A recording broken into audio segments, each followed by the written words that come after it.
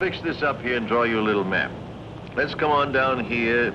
We draw the coastline down through Atlantic City, on down here to Wilmington, Myrtle Beach, on down the coast very crudely.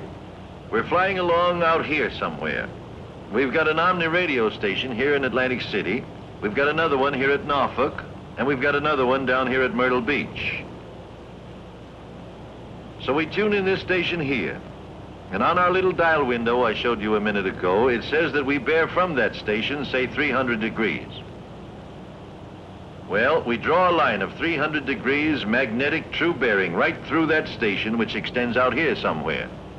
We are somewhere along that line, but where? Okay, so we tune in this next station down here. And that one says in the little window that we have got a bearing of, say, 260 degrees. So we draw a line through that station at 260 degrees true. And where those two lines cross, that is where we are, right there. A little snooze, a few hours have gone by, and we are now approaching Miami. Now we'll show you what takes place in our approach and our landing. Time for us to start a gradual descent. But first, we have to get clearance to approach. Richard?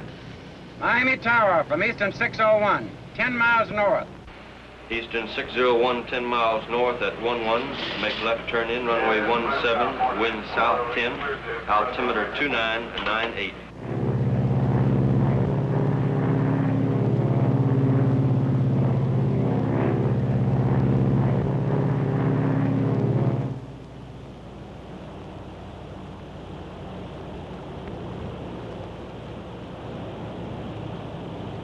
Okay, Dick, let's have about 60% flaps. Flaps coming 60.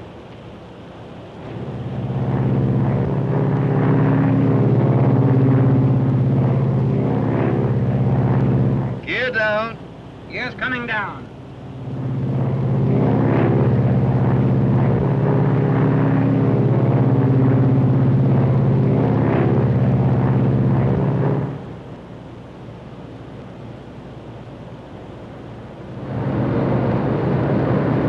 Eastern 601, clear to land. 80% flaps.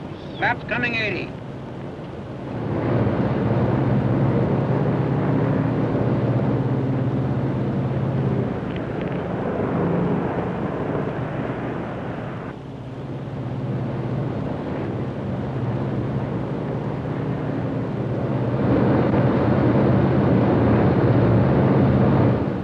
Full flap. Full flaps.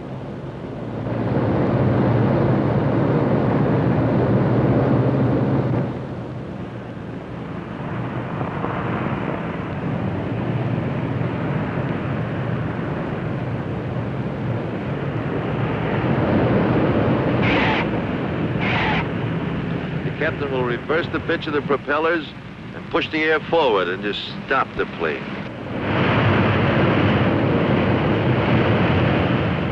There. You see, that acts as a powerful brake. So next time when you're riding in an airliner and you hear the engines roar soon after you're on the ground, remember that's what he's doing, reversing the props to stop the airplane.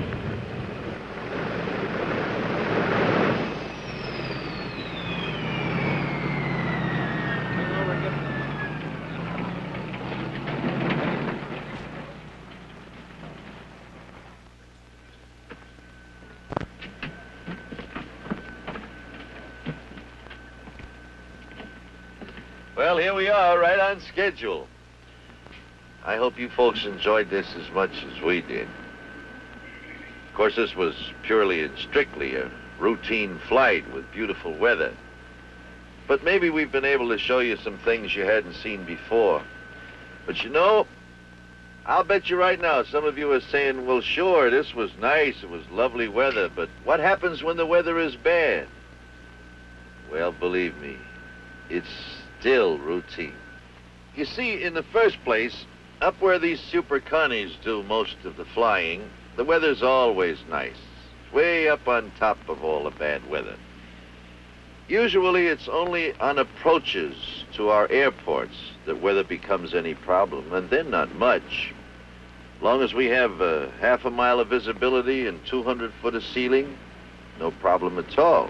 Now, these minimums are arbitrarily set up by the Civil Aeronautics Administration in the interest of general safety. Actually, we can land one of these airplanes when the minimums are zero, zero. Let me show you. Here we are flying on instruments. We're in the clouds. It's one of those nights that the birds aren't even walking. We have been cleared to make an instrument approach. We have been cleared to the outer marker. This point we call the outer marker is located approximately five miles from the end of the runway. A light flashes on the cockpit panel. At the same time, the ADF needle indicates the passage of the marker, and we also get an audio signal. At this point, the glide path is intercepted. The glide path is a sloping radio beacon down which the aircraft should make its descent to the runway and is indicated by the horizontal needle.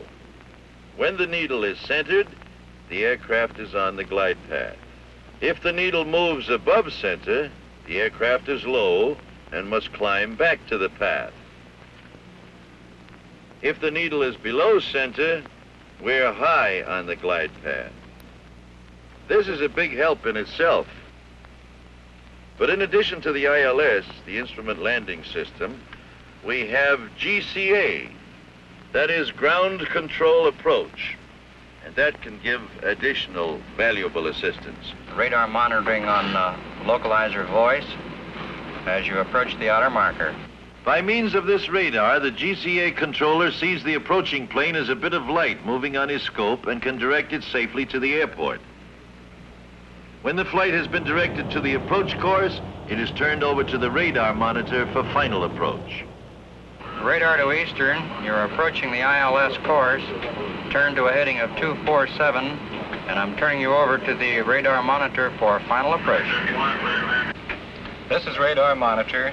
Etched right on the scope is both glide path and localizer, and any deviation can be detected and measured in feet. You are four miles from the end of the runway. 200 feet to the right, of course, but correcting nicely. Your glide path is good.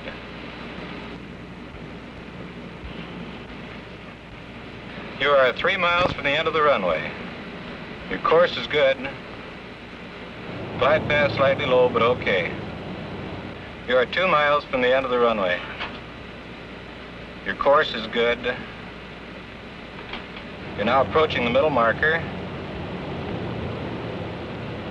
You're over the middle marker.